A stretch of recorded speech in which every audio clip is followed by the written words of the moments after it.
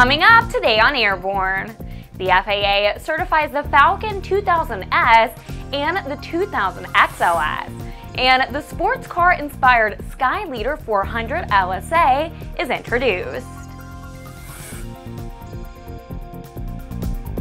I'm Ashley Hale. Welcome to Airborne on Aero TV.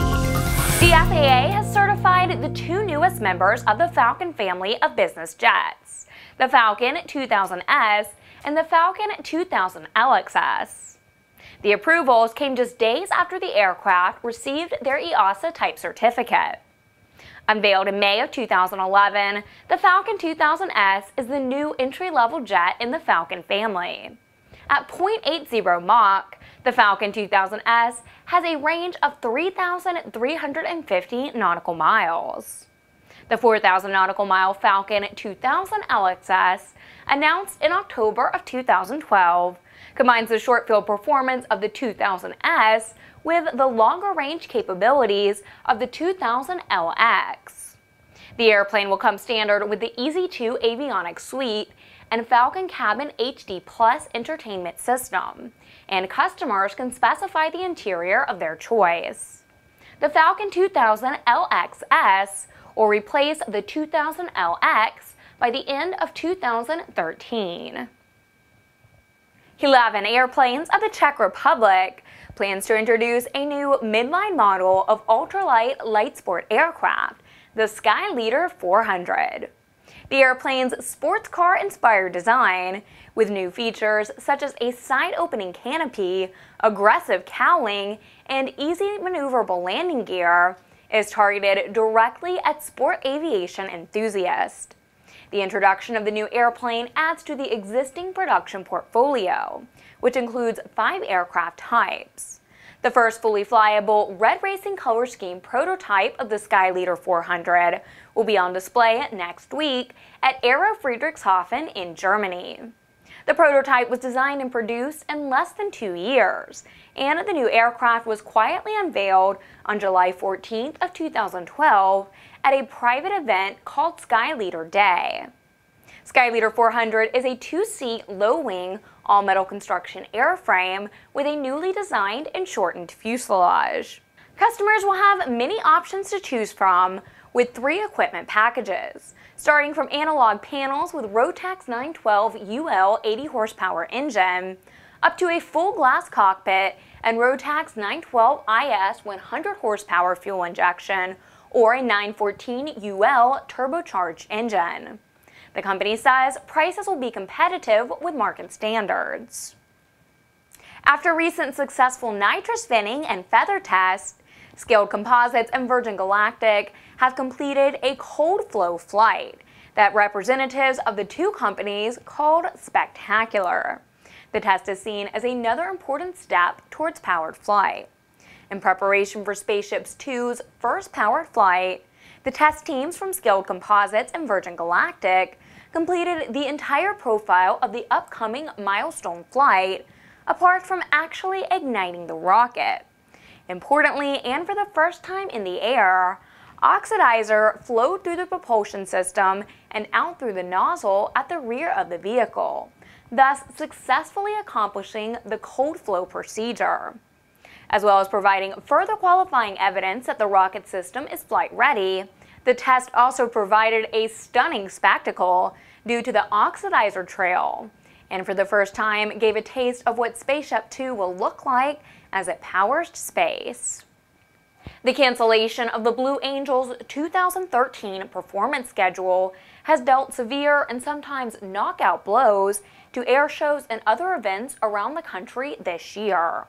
The cancellation of the performance at the Hadi Shriners Fest in Evansville, Indiana, the first week of July, prompted that region's representative in Congress to write a letter to Secretary of the Navy Ray Mabus, asking that funding for the performances be restored.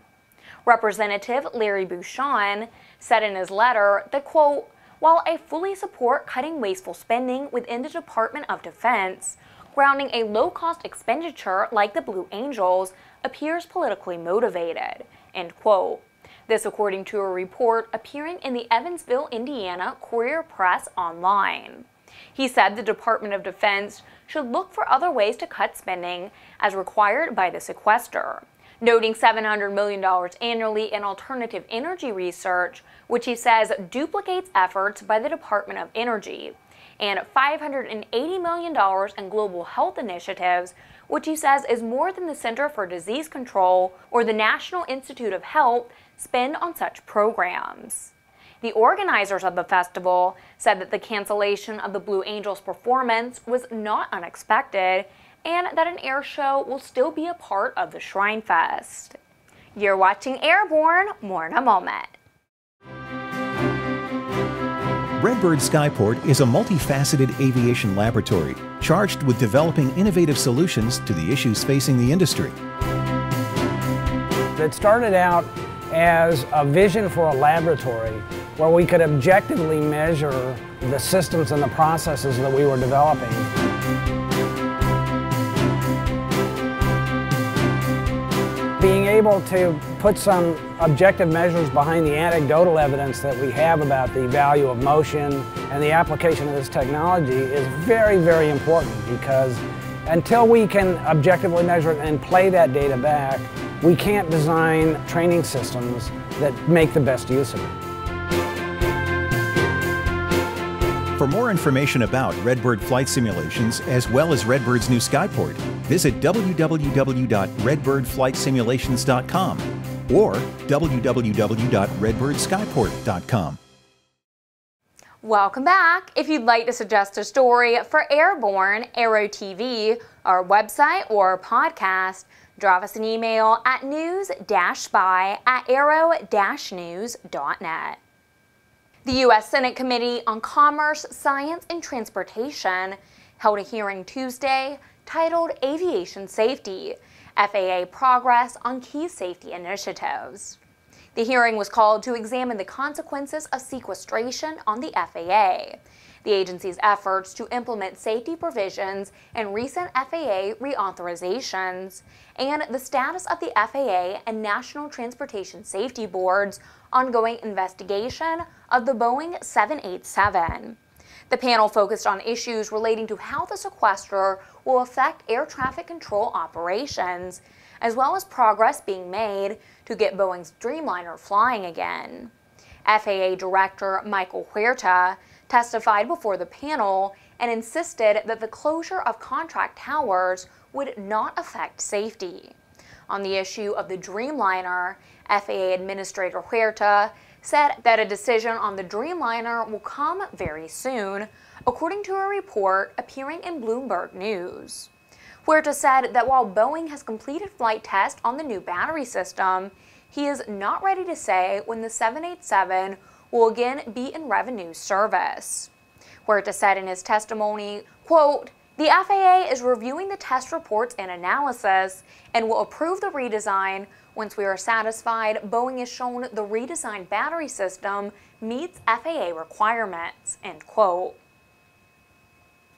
An unidentified computer glitch in American Airlines' computerized reservation system, Sabre, caused the airline to ground its fleet for several hours Tuesday afternoon, canceling hundreds of flights and leaving thousands stranded.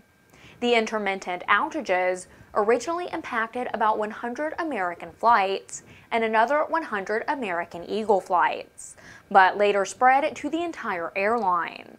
Sabre is the airline reservation system that controls flight bookings, online check-ins, printing of boarding passes, and more. Thousands of passengers were left stranded at airports across the country and were left seeking information updates on the airline's website and Facebook page using their smartphones and tablets. American offered to change reservations at no charge for those with flexible travel plans and offered full refunds to those who could not change plans. The trouble started about midday and operations were returning to normal by about 5 p.m. Central Time.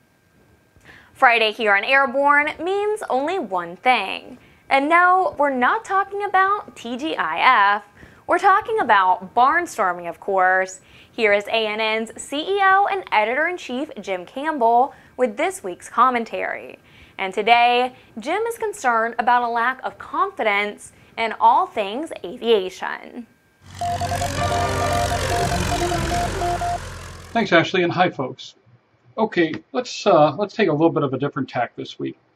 Just uh, I've been getting uh, quite a few calls and letters and emails from uh, those folks who uh, went a little bit south of us and tried to participate in the annual Lakeland fly-in.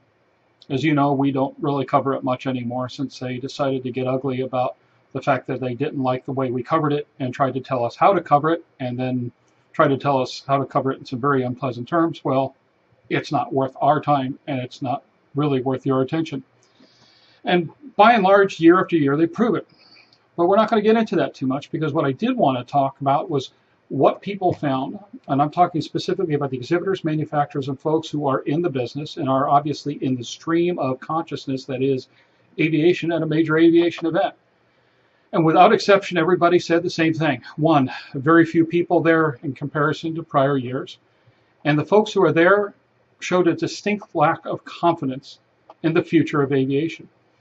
I don't have to tell you that there's a bunch of great reasons for a lack of confidence in aviation, the biggest of which is that aviation is on the bubble. It's in big trouble, it's in danger, and aviation is swirling the drain in so many ways. And if you've been in the aviation business at all in the last few years, you know it's a really tough way to do business. Um, seriously, you know, underwater demolition, much easier, probably even a little safer. You just don't know. But what we're hearing more and more is just this incredible lack of confidence, this feeling that so many folks that go to these fly-ins or are looking at airplanes, they're looking for their last airplane. They're looking for things that they may not be able to get in a couple of years. They're looking at what they consider to be the last generation of free, private, general aviation. And God help me, they may be right.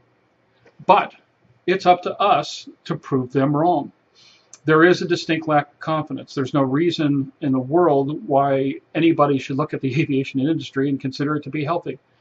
Uh, we have an administration that really has decimated all things aviation. We have a political climate that doesn't like aviation. We have a financial climate that doesn't make aviation very affordable. Aviation itself is bereft of, in some cases, uh, good leadership, i.e., folks who just have not done the job or beaten their associations into the ground or associations that are in transition and have yet to really explain to folks what they're going to do, how they're going to do it, and how they're going to really make the way forward for their associations and the rest of aviation in a positive way. It's tough out there.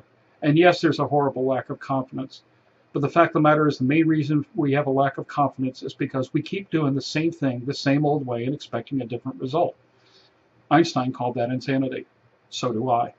And I'll, let's face it, Albert knew a lot more than I do, so um, you know I'll definitely give way to anything he has to say on this matter. But we can restore confidence to aviation and restore a future to aviation if we are willing to embrace alternate tactics, if we are willing to be aggressive, if we are willing to be radical, if we are willing to be creative and innovative, but most important, if we are willing to be involved very shortly, we're going to start talking to you about something that we've been working on for the last couple of years, and in particular, the last few months.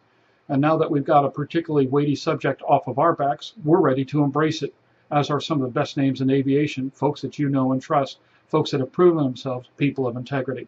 It's time to go for it. It's time to try to save this business. It's time to take this lack of confidence we all feel and substitute it with something we can all have confidence in. For the Aero News Network, Aero TV, and Airborne, I'm Jim Campbell. We got some interesting ideas for you down the line, but only if you, you participate. Thank you. Lieutenant Colonel Matthew Bradley, the 83rd Fighter Weapons Squadron Director of Operations at Tyndall Air Force Base in Florida, will become Thunderbird Number 1, the squadron's commander and lead pilot for the 2014 demonstration team. General Gilmary M. Hostage III, commander of the Air Combat Command, made the announcement earlier this week. Bradley's duties are twofold, including commanding a force of more than 100 enlisted personnel and 11 commissioned officers assigned to the Thunderbirds, along with leading all demonstration flights. Bradley will replace Lieutenant Colonel Greg Moseley. Other new officers announced include Major Scott Petz, an F-16 pilot stationed at Nellis Air Force Base in Nevada, who will become Thunderbird number 3, the team's right-wing pilot. Captain Ryan Wick, an F-22 pilot currently stationed at Langley Air Force Base in Virginia, will become Thunderbird number 6, the team's opposing solo pilot. Captain Joshua Larson, an F-16 pilot currently stationed at Shaw Air Force Base in South Carolina, will become Thunderbird number 8, the team's advanced pilot and narrator. The team is still reviewing applications for the position of Thunderbird 9, the team's flight surgeon. An announcement will be made once the selection is finalized. The year 2014 will mark the Thunderbird's 61st season as the Air Force's premier jet demonstration team if they get to fly. Well, remember you can get comprehensive, real-time, 24-7 coverage of the latest aviation and aerospace stories at aero-news.net. And please join us again next Tuesday for another edition of Airborne. I'm Ashley Hale. Thanks for watching.